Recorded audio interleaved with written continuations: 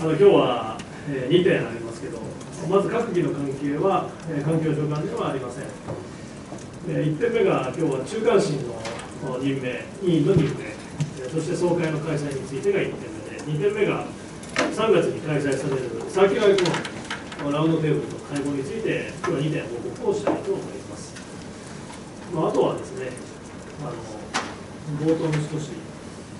緩和球大じゃないですけど経団連の中西会長がカーボンプライシングについてあのこれから前向きな提案をしたいという非常に、まあ、私としてはありがたいなとぜひ直接お考えご提案お伺いをしたいとそういうふうに思いましたこれから経団連サイドともいろんなやり取りがあると思いますので今回の会長のお話を踏まえてですねこれからも緊密な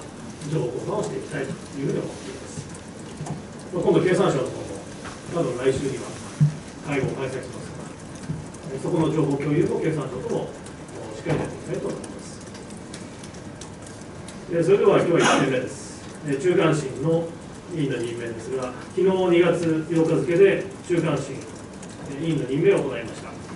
今回就任いただく委員については、すでにお配りしている報道資料の通り、えー、ですね、審議会における女性委員の比率については、昨年12月から堀内副大臣を中心とするチームで対応を検討してもらいましたが、今回の、委員30名中15名が女性委員となり、女性比率を5割とすることができて、政府目標を達成することができました。また審議会委員改選後初めての総会を今週金曜日2月の12日に開催します当日の国会審議などの状況が許せば私も出席をする予定です。今後の環境行政について活発な議論がなされることを期待をしています。1点目は以上です。えそして2点目がサーキュラーエコノミーの関係についてです。3月2日から3日にかけて世界経済フォーラムと環境省で循環経済ラウンドテーブル会合通称サーキュラーエコノミーダボスということで今国際社会ではサーキュラーエコノミーのことを頭文字を取って、えー、CE というふうにも言われますのでこのダボスの会議のことを通称で CE ダボスというふうに言っています。これを環境省とダボス会議を主催をしている世界経済フォーラムと共に開催することになりました。3月の2日から3日です。この循環経済、まあ、サーキュラーエコノミーとは資源投入量消費量を抑えつつストックを有効活用しながらサービス化などを通じて付加価値を生み出す経済活動です、まあ、よく対照的に言われるのがこのリニア経済とサーキュラーエコノミーでリニアというのは、大量生産大量消費みたいな形で大量廃棄にもつながる、まあ、縦型の線形の経済ですね。サーキュラーエコノミーというのは、まあ、循環して巡る回るそして結果的には捨てない、えー、巡る経済循環する経済これサーキュラーエコノミーですがこういった取り組み参考としても今日はお手元にお配りをしてある通り製品そのものではなくて機能を提供するビジネス事例よく as a service モデルというふうにも言われますがこういったものも紹介をしています。実は海外からも日本の企業の取り組みが非常に評価が高くてだけどサーキュラーエコノミーという言い方で今まで言ってきたことがほとんどないので 3R っていう言葉は日本の中では浸透してきましたけどもう世界の中ではサーキュラーエコノミーこういった形で発信をしなければ届かないところもあるので今後サーキュラーエコノミーの取り組みとして経団連とも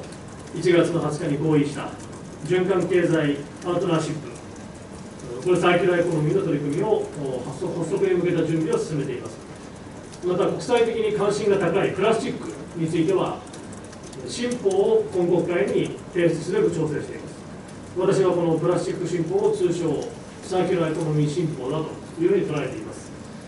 さらに2月の22日には国連環境計画 UNEP や EU などが循環経済及び資源効率性に関するアライアンスこれを設立しますが日本も参加する予定です。このように国内外においてさまざまな動きがある中で今回の循環経済ラウンドテーブル会合では世界経済フォーラムのブレンデ総裁や国内外のビジネスリーダーとサーキュラエコノミーの目指すべき方向性やその方策を議論するとともに日本の先進的な技術やソリューションについて発信をしたいと思います。COP26 に向けて今後民間企業との連携法整備国際発信の3本柱を進めて世界規模でサーキュラーエコノミーへの移行を加速していきたいと思います。今日は冒頭以上です。それでは梶さん幹事社の読売新聞山下から質問させていただきます。あの先ほど大臣からも発言ありましたけれども、あの中間審のですね、あの女性比率が、まあ、半数となったということなんですけれども、これあの環境行政の観点から、まあ、女性議員の方が半半数まで増えた、あの多くなっているっていうことの意義について。はいあのまず今回、改正にあたって女性委員の比率の向上を目指したのは、第5次男女共同参画基本計画で定められた目標の達成ということもありますが、環境分野こそ、女性の活躍、これが不可欠な分野であるという認識に基づくものでもあります。例えば、衣食住を中心とした生活のあらゆる場面での脱炭素化の推進、レジ袋有料化やプラスチックごみの再資源化の促進、国立公園、国民公園をはじめとする日本の豊かな自然の体験の普及をはじめ、経済社会のリーデザインに欠かせないライフスタイルの転換に向けた検討を行う、こういった中間審の役割を考えたら、男性、女性双方の視点を踏まえて、同質だけのメンバーで議論するのではない、多様な議論が反映されることが望ましい。え男性、女性それぞれ半数ずつ構成されることになった新たな体制で、今まさに、えーこれからカカーボンニュートラルに向けて、急速に進みつつある、この取り組みを、えー双方の今までになかったような切り口で議論を展開をしてもらいたい、そんなことを期待しています。堀内副大臣にも、えーこの50%に向けて取り組みしっかり頑張っていただいて、え改めて感謝しています。はい他に何でしょうか。新潟日報さん。新潟日報の遠藤と申します。よろしくお願いします。柏崎火力原発について伺います。あの東電の社員が原発の中央整備士に不正に入手した問題についてですね、その原子力規制庁が去年9月にですね、あの原発事業事業者としての適格性を担保する保安規定を了承する2日前にこのことを知りながら、えー規制委員会に報告していなかったことを明らかにしました。重大な違反を考慮しないまま、福島事故を起こした当時に適格性を与えたことになりますけれども、規制委内部の情報共有の在り方について、えー大臣にご見解を伺います。はい、あの東電柏崎刈羽原発において同社社員が ID カードを不正に使用した事案については、えー遺憾であります。えー昨日8日、原子力規制委員会は臨時会議を開催して、安全確保の機能、または性能への影響があり、安全誘導の低下は小さいものの、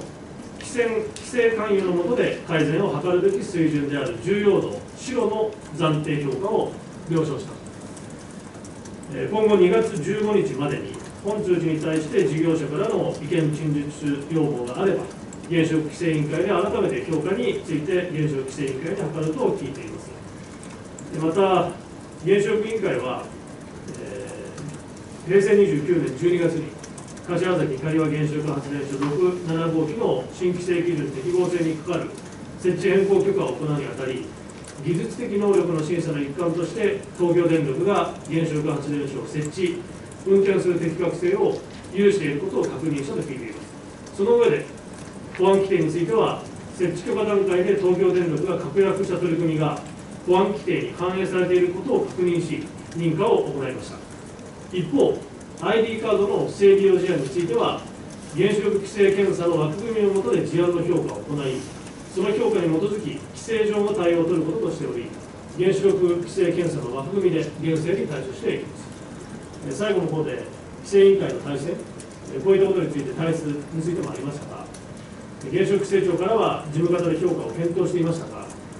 原子力規制委員会への報告は、検査のルールに従って報告すればよく、急ぐ必要はなかったと認識していたと聞いています。えー昨日の規制委員会の判断において、白判定となり、えー規制委員会と規制庁の連携不足によるものと承知しています。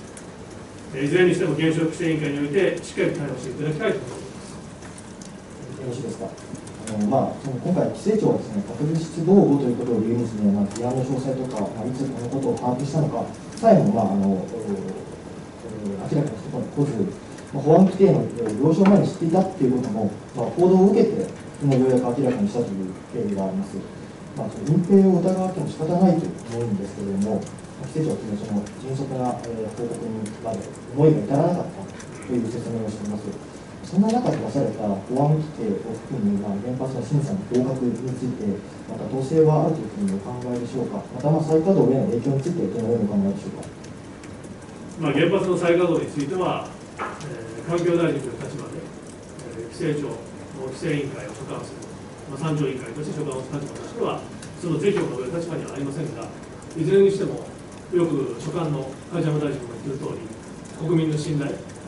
えーこれが最も重要であると、そういった中で、今回の事案も含めてですね、原子力規制委員会においてはしっかり対応していただきたいと考えていま。す。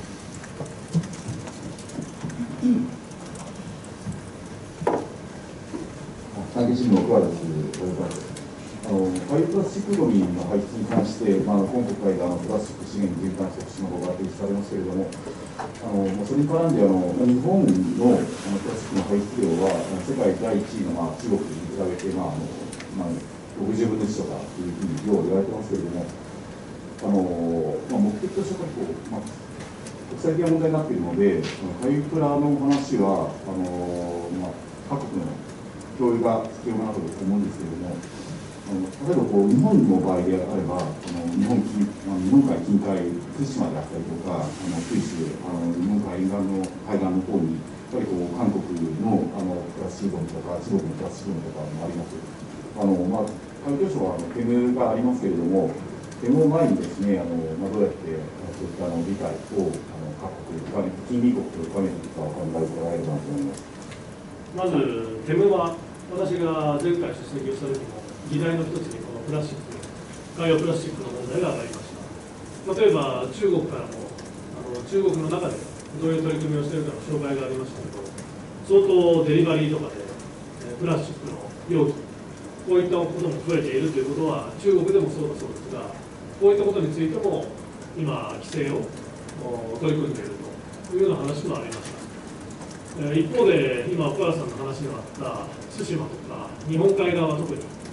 この朝鮮半島、それと中国、そういった地域から流れ着いているゴミが多く見られるのは事実で、ただ、もう一つ、別の側面のある地域もあって、それが瀬戸内海、今回、法律を出しますが、あの瀬戸内海の地域の海洋プラスチックゴミ、これを見ると、ほとんどがその地域の中のプラスチックゴミなんですね。やはり瀬戸内海という内海ですから、外から入ってくるよりも、その地域が出る。ですから、もちろん世界全体のボリュームということを考えれば、中国やインドネシアという大量のプラスチックの排出国と比べれば、日本というのはかなり少ないです。ただ、1人当たりのプラスチック消費量、これに換算すれば、日本は世界で2位です。こういった状況の中で、日本は G20 で大阪ブルーオーシャンビジョンを立ち上げて、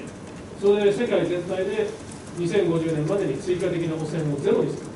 このリーダーシップを図ったのが日本です。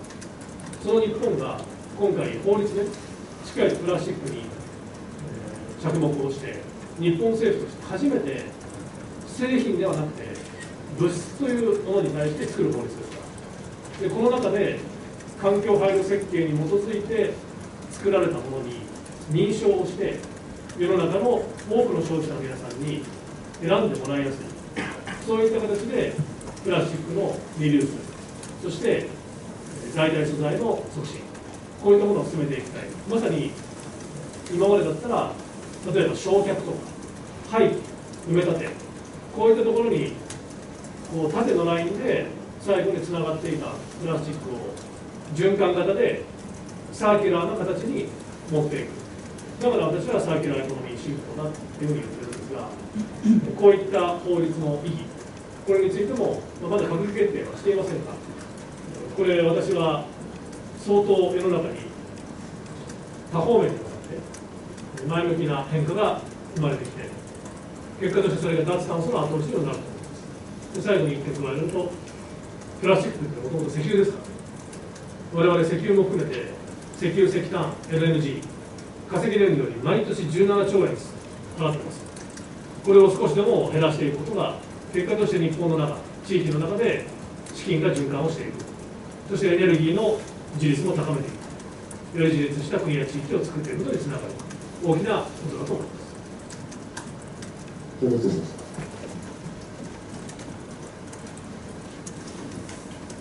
共同通信の水内です。選手大臣あの石油地再生議連にあのオンラインで参加されたと思うんですけども、でそので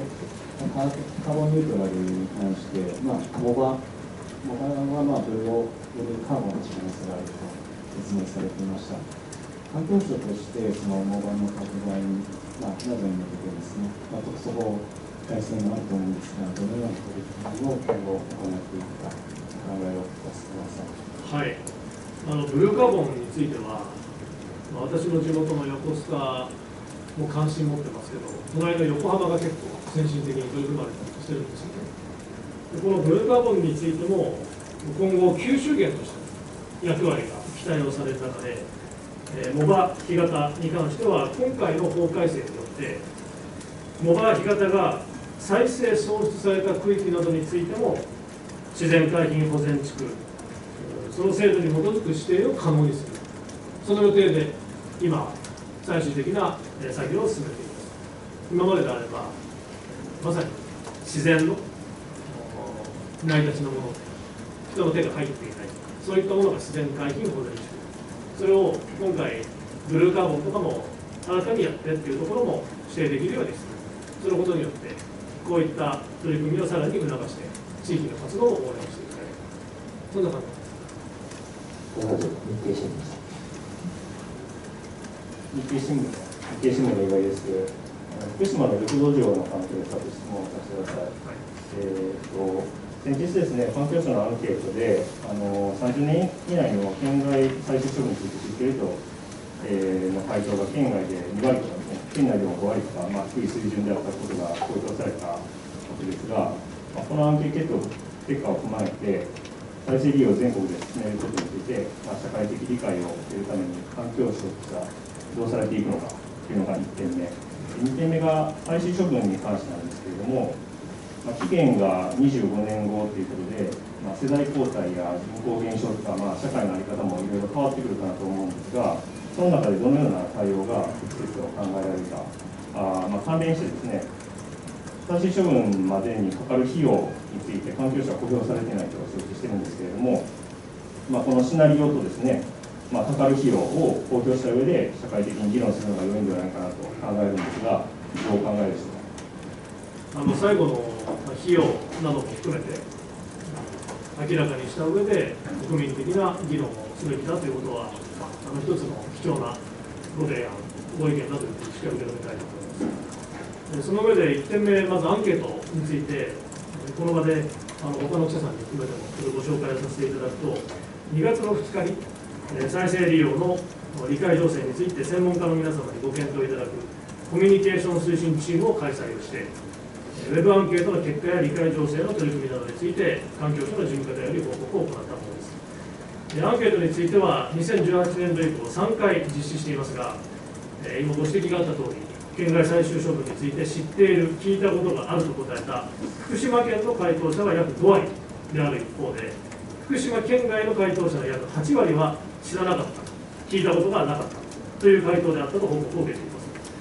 理解情勢を図るために今年度環境省では再生利用実証事業の現場の公開や広報現場番組での紹介のほかウェブ上で現場を見学できるバーチャルツアーを環境省ホームページに先月アップしたところです。今回のウェブアンケートの結果も踏まえて再生利用などについての国民の皆様のご理解が得られるようにできることから一つ一つ取り組みを実施するとともに関係省庁とも密に連携しながら再生利用などについての全国民的な理解の情勢に向けて情報発信に取り組んでいきたいと思います、えーそしてもうすぐ10年を迎えます、えーこういった中で、えーまだまだ課題はありますしこの30年以内の県外最終処分これは特に重要な課題の一つです。えこの方針は国としての約束でもありますし、法律にも規定された国の責務ですから、あの私と今、福島の関係の省内の部局で、今後、何が自分たちとしてもさらにできるのか、今、議論を進めているところです。そして25年という、これをどうやって次の世代に渡していくのかっていうお話に2点がありましたが、あの知事ともよくお話をしますが、知事の思いの中でも、この今でも福島の小学生、中学生の中には、あの10年前の東日本大震災原発事故を覚えていない、記憶にない、そういった世代が出てきている、そういった中で、どのようにあの記憶を、そして教訓を風化させずに継承していくのか、こういった問題意識を非常に強くお持ちなので、我々としても、そういった知事の思いにお答えをできるような環境省としての取り組みをできないか、今、検討中です。またお話しできるときに報告したいと思います。お願いします。日本テレビ。川崎です。あの柏崎刈羽原発の件でございます。あの新たにその、えー、不正使用したその社員の詳細、要はどういう形でこれを行ったのかというのをやっていました。いわゆるその、えー、ID 不正使用した、えー、社員以外に別の警備担当社員も、いわゆる、えー、別人だと知っててこれゲートを開けていくとか、えーいわゆるその当然そ組織ぐるみじゃないんですよね。そこまでして、まあ、えー中に出ているという状況が、えー明らかになりました。いわゆる原子力防災も含めてですね、どういうやり方、どうやって中に入る、こういう危険な問題、これ、えー大臣のどういう思いを今感じていらっしゃいますか？まあ ID の規制事案、言語道断だと思いますね。ですので、規制でしっかり対応していただきたい。言語道断という中で、